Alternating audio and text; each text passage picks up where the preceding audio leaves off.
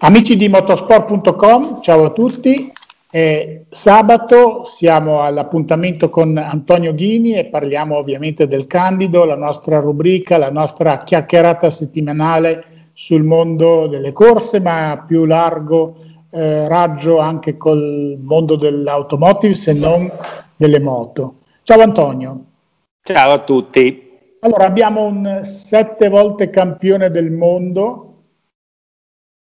Questa sì. cosa suona strana a tantissimi perché sono molti quelli che non accettano il fatto che Lewis Hamilton non sia un usurpatore di quello che è il ruolo di Michael Schumacher. Di che cosa vogliamo parlare?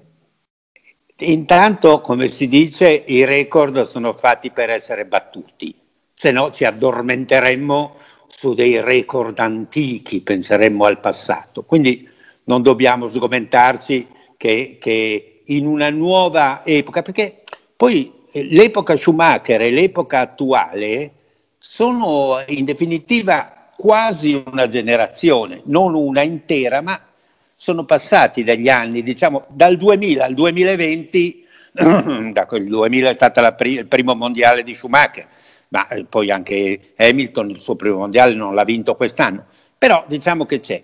Ma io volevo, mi sono fatto un, un goffo disegno per eh, parlare di, di Hamilton. Oh, cioè, bello, per, con la stella della Mercedes. La stella della, allora ho messo tre temi che vorrei trattare.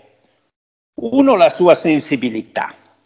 Il secondo, la sua identità e il terzo la sua professionalità, che tra l'altro abbiamo visto ieri su quella bella intervista eh, pubblicata da motorsport.com, mh, mm, sulla quale c'è però da dire anche molto di più rispetto a quello che lui dice, perché si può leggere anche oltre quell'intervista. Allora, la prima cosa, dicevo, la, ecco, non devo cambiare l'ordine, la sensibilità. Credo che tutti coloro che hanno visto il Gran Premio domenica e sciagurato è chi non lo ha visto perché per me è il più bel Gran Premio che ho visto nella vita ed ne ho visti tanti, eh, questo momento di incontro di Vettel con Hamilton, eh, di Vettel che si, si china verso l'abitacolo, i due si stringono il braccio, la mano in un modo che dà un messaggio, mi ha ricordato un po' come tipo di densità del momento Gasly seduto sul podio di Monza da solo, cioè sono quei momenti in cui tu vai oltre ciò che vedi e capisci ciò che provano, che è una cosa bellissima e rara, anche perché i piloti sono costretti a essere un po' dei robot nella comunicazione, non perché lo vogliano essere, ma perché li obbligano i team ed Hamilton per fortuna a questo sfugge abbastanza, ma in quel momento c'è stata intanto per al di là dell'emozione profonda di, di Hamilton di eh, sentire cosa significa in termini di importanza ma anche di responsabilità di scelte future essere sette volte campioni del mondo, ma dall'altra anche dalla parte di Vettel, che come tu sai io ho sempre valutato in modo importante, perché per me Vettel è un pilota straordinario che soffre solo della sua fragilità emotiva, ma dal punto di vista della guida è straordinario.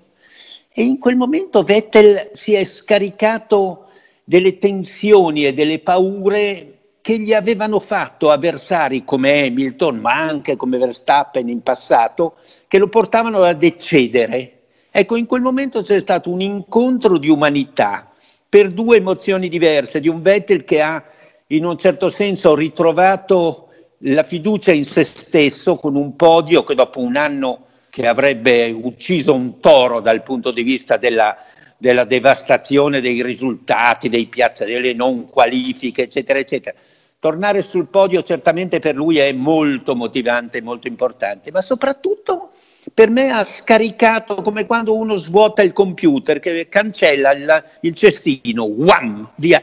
Lui lì ha cancellato il cestino di tutto quello che è stato in qualche modo fuori dal suo controllo negli anni della sua carriera. È stato un momento bellissimo. Eh, dal punto di vista di, di Hamilton, della sua sensibilità, a me piace il fatto che Hamilton sappia guardare al mondo, cioè non sia un pilota prigioniero della Formula 1. Schumacher era prigioniero della Formula 1, lui viveva solo di Formula 1, Lauda uguale, cioè piloti che considerano per la massima concentrazione, la massima ambizione che il mondo sia lì, tra il paddock e la pista, la pista e il paddock, la squadra! Hamilton ha questa apertura, questo messaggio di dire io ce l'ho fatta, ce la potete fare anche voi. È un momento difficile, guardiamoci attorno, tante persone stanno soffrendo, tutti in una maniera o nell'altra stiamo soffrendo. E il fatto che lui in quel momento pensi agli altri, pensi ai ragazzi che ce l'hanno fatta, perché oltretutto lui non è nato ricco, lui non ha fatto questa carriera come figlio di papà, quindi è proprio la dimostrazione che gli è rimasto dentro quello che è il valore della vita che va oltre il valore delle corse. Quindi io credo che questa sensibilità sia per lui, al di là del fatto che gli piaccia la musica, che vada alle sfilate di moda, che faccia le cose da ragazzo, che è normale. Io mi ricordo, io l'ho incontrato a Cannes in un supermercato come una persona normale, cioè lui non è uno che va, eh, che in giro super blind, cioè è normale, bellissimo. Questa è una cosa veramente straordinaria. Secondo, in un supermercato monoprix, cioè di quelli dove vanno veramente tutti, non è, era da Hermes, che allora cioè, era da Hermes, no. Bene, due, eh, l'altra cosa che mi colpisce, e qui io vorrei che fossimo tutti molto equilibrati nel valutare quello che sto per dire, è la sua capacità oppure la giro diversa. Pensando a lui, noi non pensiamo che lui è nero. Prova a riflettere. Tu vedi Hamilton, non lo vedi nero, è un pilota come gli altri, che è, è un uomo normale. Cosa vuol dire questo? Vuol dire che lui ha, ci ha fatto superare lo stereotipo del colore della pelle e lo ha fatto come? Lo ha fatto con quel concetto che è, eh, che è emerso quando sono, è finito l'epoca, se, se pensiamo a, a, a, alla schiavitù eh, che è iniziata nel 1500 e che è continuata con la colonizzazione fino dopo la guerra, dopo la guerra, nel 1945-46, fu Sartre a, a, a, a creare un, un, termine che è la negritudine, che la negritudine che è stato preso da molti intellettuali di colore, da molte, che è il fatto di avere l'orgoglio di trovare quella in se stessi, di trovare quella che la, sono le proprie origini, le proprie radici, la propria autonomia culturale e eh, di comunicazione. Vediamo lui com- come si tratta i capelli, come eh, si mette orpelli eh, brillanti nel naso, nelle orecchie. Eccetera. Quello è un modo per riproporre in, modo, in maniera contemporanea quella che è la tradizione di un popolo che ha sempre avuto nel rapporto con la natura, e Dio sa quanto oggi per noi è importante il rapporto, e loro lo hanno avuto profondo, una relazione che era anche una relazione dal punto di vista corporale, di come ci si presentava e così via. Bene, lui, avendo questo habitus che, eh, che vediamo tutti, riesce a non essere identificato come uno diverso. E questo è straordinario. Cioè, se noi ci pensiamo, il fatto che lui sia nero non esiste. Per, lui, per noi, lui è, è, è, Bottas, uno di origine eh, eh, di colore, l'altro finnico, sono uguali, sono uguali. Allora, e, e questo è un'altra cosa per me, lui che abbia, sia riuscito a far diventare nere le Mercedes in questa stagione, che porti avanti un messaggio che non è un messaggio di revanchismo, ma è un, è un, è un messaggio di ricerca di capire che noi non dobbiamo cadere stupidamente negli stereotipi di un'immagine, di un colore. Tu vedi uno eh, eh, eh, vestito male, dici quello è un poveraccio, tu vedi uno eh, di colore di, con la pelle nera, dici quello è diverso. No, siamo tutti uguali, ciascuno di noi ha una propria identità, un proprio, dei propri valori, una propria eh, dignità. E allora lui sta facendo questo lavoro magnifico di riportare come esempio alla assoluta parità tra eh, eh, radicati purtroppo e storici stereotipi che dobbiamo e stiamo superando. Quindi questo è un altro punto eh, che mi piaceva sottolineare di lui, questa capacità di eh, interpretare il suo ruolo di portatore di, eh, di, portatore di, un, di un messaggio e di simbolo. La terza cosa che mi, ha, che mi piace molto di lui è eh, la, e, e, e l'intervista, l'intervista, di motorsport.com da leggere eh, lo, lo, dice chiaramente, è eh, il, desiderio che ha di essere più parte della squadra, ma a mio avviso va anche oltre questo. Mm. E cioè, noi ricordiamo tutti le sue scaramucce alla radio durante i Gran Premi. Fermati box, no, non mi fermo, non cambio le gomme, eccetera. Cioè lui quando guida decide, e abbiamo visto come è stato abile, lui e Perez, perché adesso non dimentichiamo che Perez ha fatto una grande gara domenica, grande gara riuscire a gestire. Eh, eh, tra lui e Stroll c'è stato un abisso, nel senso che eh, la, l'esperienza, la sensibilità, la percezione che avresti potuto farsela l'hanno portato. Ecco, come lui ha saputo gestire, anche non troppo spettacolarmente, sì, andava a cercare un po' il bagnato, ma lui sapeva che poteva arrivare in fondo con quelle gomme, ha capito che poteva, che poteva arrivare in fondo con quelle gomme. Quindi è un uomo che sta dando alla squadra, e la squadra ha capito molto bene, grazie anche a questo fatto che si sia consolidato il team, cioè anni di lavoro insieme è, è prezioso perché poi si cementifica, cioè si è tutti insieme. La sua gioia eh, eh, mondiale era la gioia di tutti, è sempre così, ma lì ancora di più direi. E allora a me è venuto in mente, perché parliamo spesso della, del cosiddetto conflitto Callenius-Wolf, Toto Wolf. Sarà vero, non sarà vero, sembra, non sembra, non firmano, firmano, si trovano, eccetera. Però se a livello di eh, CEO della, della, Mercedes e di Toto Wolf. Eh, si riesce a... Tro- ecco, dobbiamo tener conto di un fatto, per me si parlava di rivalità. Eh, loro sono quasi coetanei. Il baffone, come lo chiami tu, l'ex presidente, era un uomo a fine carriera, paterno, cioè il rapporto tra, tra Toto Wolf, 48-49enne, e, e, il presidente era un rapporto quasi filiale, bravo questo giovane, già un po' maturo, che ha, tanti successi.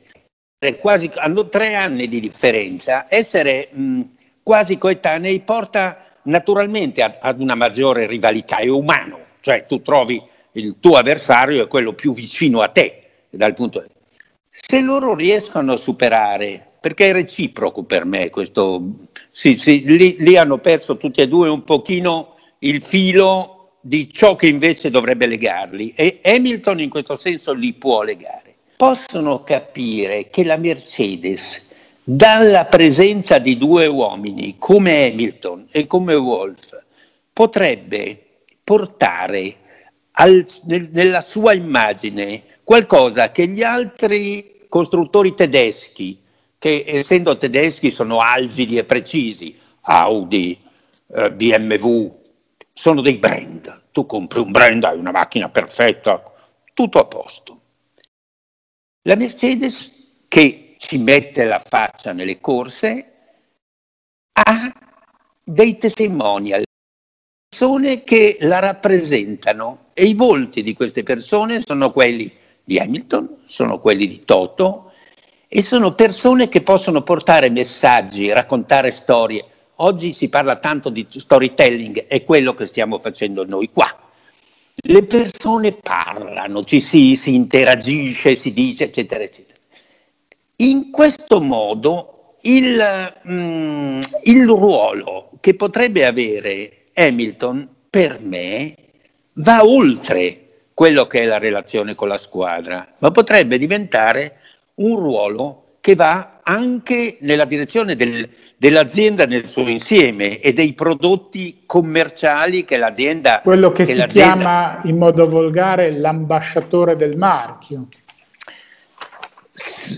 Ma vedi, gli ambasciatori dei marchi ci sono sempre stati. I, no, Prendi uno, lo paghi e lui ti fa...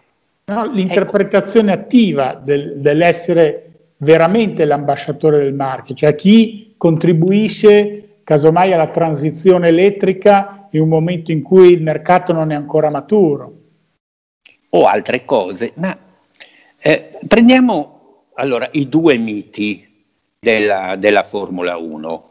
Quello consolidato, che è il mito della Ferrari, che è un mito che nasce proprio col concetto di mito, perché i miti fanno parte dei ricordi, della leggenda, di qualcosa che viene da lontano. Per cui eh, la Ferrari è nata con Enzo, è nata col suo cavallino, è nata eh, con, con, delle gesta che erano delle geste di, di una certa epoca e attorno alla Ferrari, al mito della Ferrari, si è cre- creato tutto un rituale eh, che è quello del grande cuore sulle tribune, delle bandiere, del colore, dell'entusiasmo. Mm, ci sono degli adepti, che sono i tifosi, che tengono vivo questo mito attraverso una loro passione, che è una passione emotiva. La Ferrari ha, suscita un'emozione che è un'emozione irrazionale perché è legata al mito, come succede con le religioni. Le religioni eh, sono, ti coinvolgono, non ragioni o non ti permettono di ragionare, ti danno i dogmi, però sei portato a seguirle in questo modo. Quindi il rituale che c'è attorno a un brand come Ferrari ne garantisce la continuità del mito. I miti sono molto delicati perché così come si formano, si creano e si consolidano, allo stesso tempo possono sciogliersi e crollare. Noi possiamo andare, pre, prendiamo l'orologio Swatch. C'è stato un momento che noi, ah, lo Swatch, il mito dello Swatch. E adesso, sì, uno può comprarsi uno Swatch per carità, carini, ben fatti, intelligenti, ma non sono più un mito. Allora, non posso paragonare la Ferrari allo Swatch, ma per dire, all'occhio, perché la fortunata circostanza che ci ha riportati la Ferrari al terzo e al quarto posto in Turchia è stata una scintilla che aiuta a tenere vivo un mito che altrimenti rischierebbe di, di perdere la sua energia ed è quello che a Maranello devono capire, che a Maranello la, l'irrazionalità passionale del rito della Ferrari deve essere alimentata assolutamente, i tifosi sono fondamentali, le gesta delle persone Ferrari, il modo in cui le persone Ferrari si presentano, vincenti o, o onorevolmente sconfitti, fa Quindi sì che il, gesto, il, mito... il gesto di Vettel si inserisce con un valore simbolico molto alto a questo punto. Il gesto di Vettel sicuramente, anche se adesso Vettel lo vediamo già un po' vestito di verde più che di, che di rosso, però eh, diciamo, vedere le Ferrari eh, protagoniste è stata una grande emozione, ce l'eravamo quasi dimenticata. Ecco, dall'altra parte, se il mito della Ferrari è il mito della storia, della leggenda, del ricordo, dell'emotività, della, del non ragionamento, la Mercedes potrebbe avere, e qui riprendo il discorso che ho interrotto volutamente prima, potrebbe avere invece in Hamilton, in Wolf, in, eh, nelle persone che, che stanno vivendo il progetto del futuro dell'automobile, perché noi stiamo affacciandoci al futuro dell'automobile. Per certi aspetti, in alcuni casi abbiamo fatto anche dei passi troppo lunghi, ma la nuova automobile e soprattutto i nuovi brand dell'automobile dovranno essere condivisi in termini di un mito che non è un mito irrazionale, ma un mito razionale, un mito che segue quelle che sono le richieste che ci vengono dal mondo nel quale stiamo. Dobbiamo inquinare meno, dobbiamo essere più rispettosi, dobbiamo essere più eh, partecipativi, più... Ecco, tutto questo con un uh, personaggio come Hamilton che arrivasse ad andare oltre il limite della squadra, ma a diffondere questa sua capacità di comunicare insieme a Toto Wolff, insieme ad altri, che la Mercedes non è un marchio algido tedesco, ma è un marchio caldo che ha la passione oltre all'eccellenza, beh, questo darebbe a Mercedes certamente un distacco netto rispetto ai concorrenti e questo è un aspetto bello. Cioè io credo che questa sua volontà, io so che tu sei un po' preoccupato del fatto che non firmano il contratto perché abbiano, siano andati fino a dopo Abu Dhabi. Io invece credo che sia una buona cosa, perché se davvero si trovassero sereni, felici, senza pressione, a parlare liberamente, potrebbero invitare anche noi due, a, a, a parlare liberamente di quello che può rappresentare mh, mm, per la Mercedes questo ciclo di vittorie, che allora a quel punto non ha più senso dire la Mercedes sta o va, bli o bla, eccetera. No, diventa un, un modo di comunicare competente, coerente con gli obiettivi dell'eccellenza e attualizzato da regolamenti che noi ci auguriamo, anche perché ne parliamo sempre, che sappiano interpretare quelle che sono le esigenze future del mondo nel quale ah, viviamo. Quello è fondamentale perché sennò eh, crolla tutto. Ecco, la mia predica l'ho fatta. no, io ho solo il timore che in realtà eh, Callenius, che è molto più pr- pragmatico eh, rispetto a quello che fa vedere, e pur essendo svedese, ha proprio quella che tu dici, la visione algida dei tedeschi, eh, queste lunghe attese eh, gli facciano passare la voglia. Ecco, io temo solo quello, perché uno che ha vinto come ha vinto questo settimo titolo mondiale non è minimamente da mettere in discussione, assolutamente. Io qualche timore, non te lo nascondo, ce l'ho più per il dissidio aperto con Toto di quanto non sia eh, la mancata firma di Lewis. Eh, su questo ti seguo ciecamente e mi sembra che il messaggio che Lewis manda, appunto quello di entrare in un ruolo diverso, eh, contribuire al marchio non solo per quello che rappresenta in quanto pilota che guida, ma anche per quello che è capace di comunicare, lo condivido al 100%. Non so qua, cosa ci sia che non gira negli ingranaggi nel rapporto fra Toto e Callenius. Lì sono, sono stupito, perché ad esempio eh, Toto, quando gli hanno chiesto proprio in, in Turchia ma eh, tu sei eh, azionista della Aston Martin e poi dopo sei il, il, la, la, rappresentanza sportiva del marchio Mercedes, c'è qualcosa che non quadra. E lui ha risposto, ma io ho fatto solo un investimento in ordine finanziario, punto. E allora eh, ha aggiunto, e, e posso dire che la Mercedes è anche al momento il maggiore azionista di casa Aston Martin Ecco, questo è tutto vero, se non che eh, mi sono un attimo informato e a me risulta, giusto per aggiungerci una chicca, che Aston Martin non è che ha comprato le quote, eh, non si è vista pagare dei motori e quindi si è fatta risarcire con delle quote, cercando di sostenere in, in piedi questo marchio che non deve saltare per aria nel momento cruciale, visto che sta per entrare nel mondo della Formula 1, dividerà la safety car proprio col marchio Mercedes e anche qui troviamo un'analogia, un avvicinamento di marchi che sono forse complementari. Eh, di un marchio che sta preparando un SUV esattamente come ha fatto Lamborghini e quindi ambirà ad avere numeri importanti che certamente lo terranno in piedi. E infatti io volevo domandarti, volevo domandarti cosa pensi di questa idea del, delle, della safety car e del, e del, del medical car che è diviso tra una eh, metà gare Mercedes e metà gare Aston Martin. Non è banale come cosa. Io non l'avrei immaginata fatta mh, mm, con Jeep piuttosto che con un altro marchio mh, mm, che, non fosse, che non fosse un marchio che vuol dire qualcosa di in più che un marchio, evidentemente, per dividere il letto. Lì dividono il letto, eh. c'è il bel lettone della Formula 1 e la, e la Mercedes va a dormire con, con, con l'Aston Martin, insomma, non è, è una cosa banale.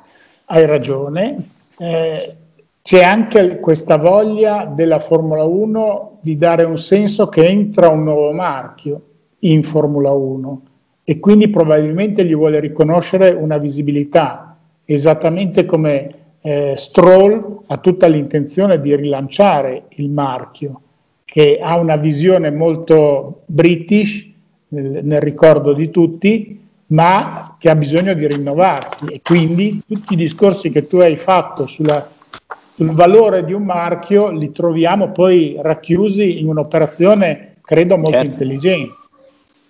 Ma sai, eh, ne abbiamo parlato credo la scorsa settimana, e cioè eh, mentre BMW ha Rolls Royce, mentre Audi ha Bentley e, e altri marchi, Lamborghini, eh, piuttosto, che, piuttosto, che, Porsche, eccetera. E Mercedes è Mercedes con, con AMG, ma è Mercedes. Mm, è vero, può darsi che, cioè, da come l'hai detta tu, sembra che, che abbiano detto, se non avete i soldi dateci le azioni. Può anche darsi invece che sia un, una forma di agreement dicendo noi no, no, lavoriamo insieme, eh, collaboriamo, così, collaboriamo eh, d'accordo, vi diamo i motori, intanto acquisiamo delle quote, eccetera. Ma che ci sia un... Pro- cioè, per me che la Formula 1 possa accettare, eh, io non credo che l'Aston Martin possa eh, pagare somme importanti per mettere lì le macchine. Che... Io credo che sia più un messaggio di una strategia di Mercedes di voler, volersi creare una nicchia mh, complementare che sia competitiva con Bentley, con Lamborghini, con quei marchi di nicchia che la Mercedes se, col, col, suo glorioso eh, ha, ha però eh, fatalmente, no, fatalmente, non può accedere perché fa macchine di ogni categoria, mentre eh, i marchi di nicchia sono là in cima e sono di nicchia. Quindi io lo vedo più come un'operazione mh, rassicurante per, uh, per, Aston Martin, perché se uno guarda i conti di Aston Martin, beh, quelli soprattutto dopo un anno così non sono certo floridi. Se guarda invece la, il disegno che c'è per Aston Martin, è un disegno così ambizioso che non credo che Stroll col 3,7% credo che abbia di quote di Aston Martin, anche se ha una delega alla guida, possa eh, mh, mm, eh, raggiungere, perché l'azionariato Aston Martin è molto disperso e infatti Mercedes è eh, l'azionista di riferimento col 20% oggi. In questo momento direi proprio di sì. Ah, sì, no, sì, sì, io guardavo i dati l'altro giorno.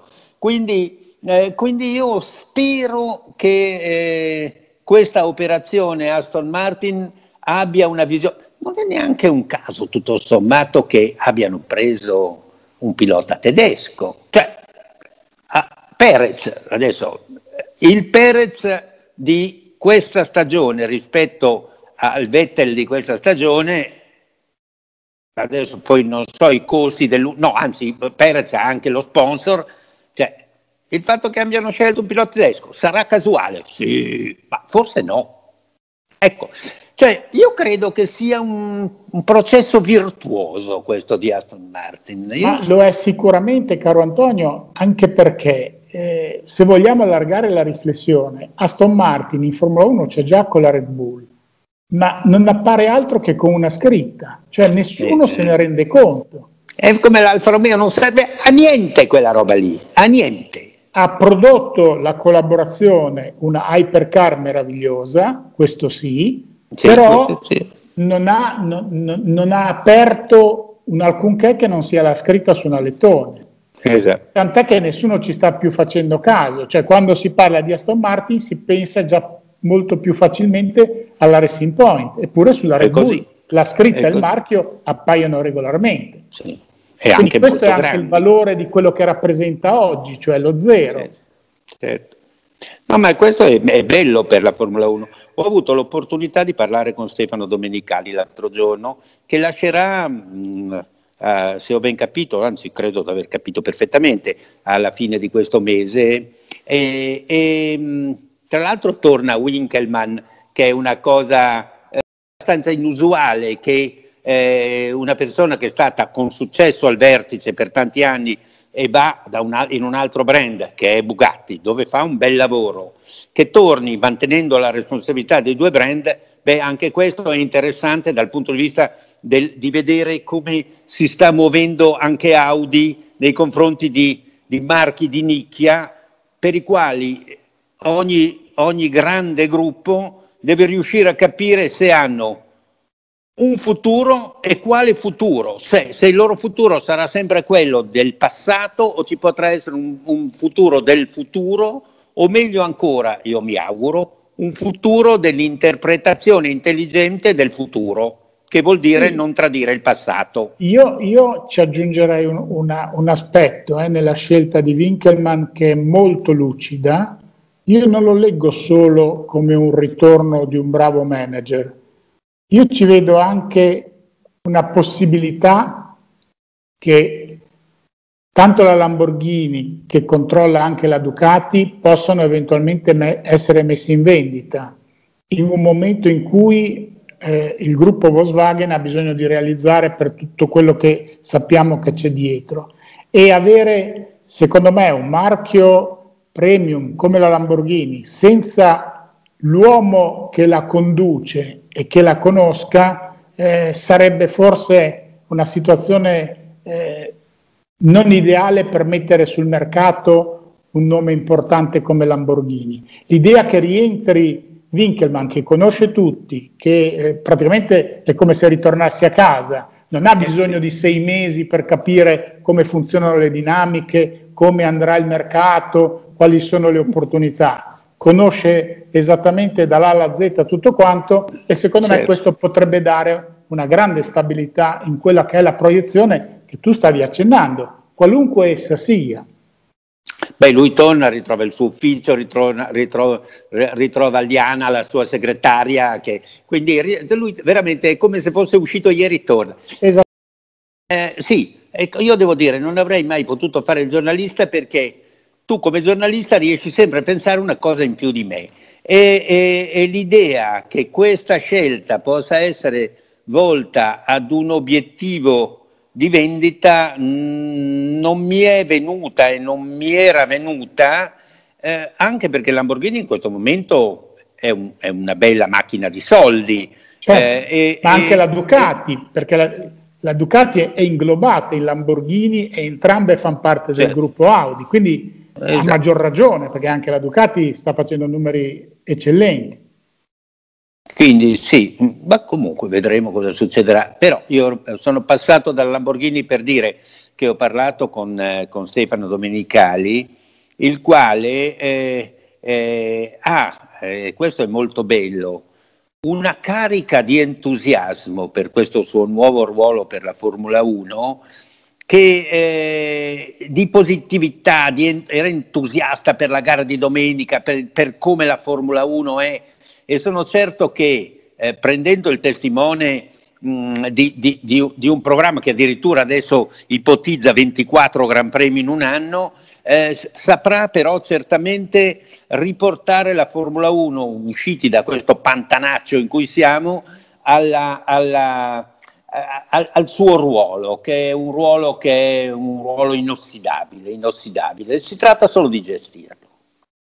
Ecco, quando tu dici 24 gare è interessante perché Carrey, prima di eh, prendere le valigie e chiudere la porta in uscita, ha anche detto che si starebbe pensando a un calendario con delle rotazioni, per cui i gemi, i, le cose che sono state seminate con, Mugello, Imola, Portimao piuttosto che il Nürburgring stanno generando qualche cosa. Eh, non sono porte che rimangono chiuse, magari non saranno... E c'è da sperarlo. Tu dici che ci sarà una possibilità? Ma eh, eh, abbiamo, abbiamo, avuto l'esperienza diretta quando c'era in Germania l'alternanza tra Nürburgring e Hockenheim, quindi perché no? Anzi, io credo che sia molto bello che, che gli autodromi eh, possano ruotare, perché anche per il pubblico. Quindi bene, speriamo bene. No, io devo dire che eh, sono stato molto contento della gara di domenica, dei, del, delle, dei suggerimenti che mi ha dato e che ho trasmesso e sono ancora contento che ci siano tre gare da vedere perché sennò poi entriamo nella fase grigia. Eh, inventeremo un nuovo tipo di parlarci, non so come, ma ce lo inventeremo. No, no, non, non c'è bisogno di inventare niente.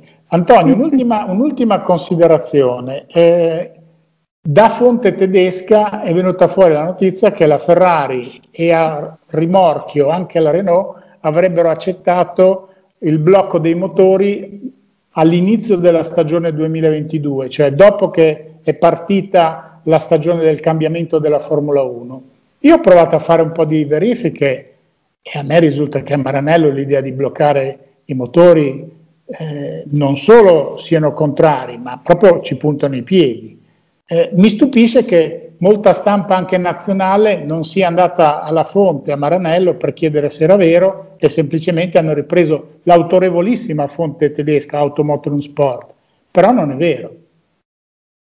Ma, eh, tu come la vedi? Hai detto Perché, tutto tu. Ma, no, nel senso che quest'anno siamo stati abituati a vedere dei cambiamenti eh, di pensiero, di filosofia della Ferrari che ha ingoiato tantissimi rospi per accettare una stagione Covid che comunque partisse e eh, immaginare che se ne ingoi uno ancora più grande mi è molto strano. Tu come la vedi? No, per me è, del, è assolutamente irrazionale che, che, vengano posti certi limiti ci può stare, ma se uno deve fare la Formula 1 e non può, fa, facevano evolvere perfino il motore Ford Cosworth, vuoi che non debbano fare evolvere i motori di oggi, cioè è, è normale che le cose migliorino perché migliorano i, i, le, le, benzine, migliorano gli oli, migliorano i, i metalli, i materiali, e quindi insomma andiamo avanti, andiamo avanti, dai. Va bene, va bene. Sono, sono fake news, fake news. Fake news. Ok. Amici di motorsport.com, allora commentate qui sotto come fate sempre dopo ogni nostra chiacchierata, anche questa volta mi sembra che ci siano validi argomenti per aprire la discussione, mi raccomando civile, senza insulti, eh, che ogni tanto partono e dobbiamo intervenire. Cliccate la solita campanella per iscrivervi ai canali di motorsport.com, così riceverete tutte le informazioni sui prossimi video che arriveranno. Antonio, appuntamento a sabato prossimo. Saremo in Bahrain per il terzultimo Gran Premio della stagione e esatto. si, esce, si esce dalla dinamica europea. Quindi esatto. c'è un esatto. cambiamento importante. Beh, siamo già stati in Turchia, eh? attenzione, sì, siamo là. Siamo, lì siamo eravamo al est. Lì eravamo eh, sì, al eh, Comunque non ti preoccupare per gli insulti, tanto sono tutti indirizzati a me. No, no, Quindi tu non rischi niente. No, no, no, no. Ciao. Ciao a tutti.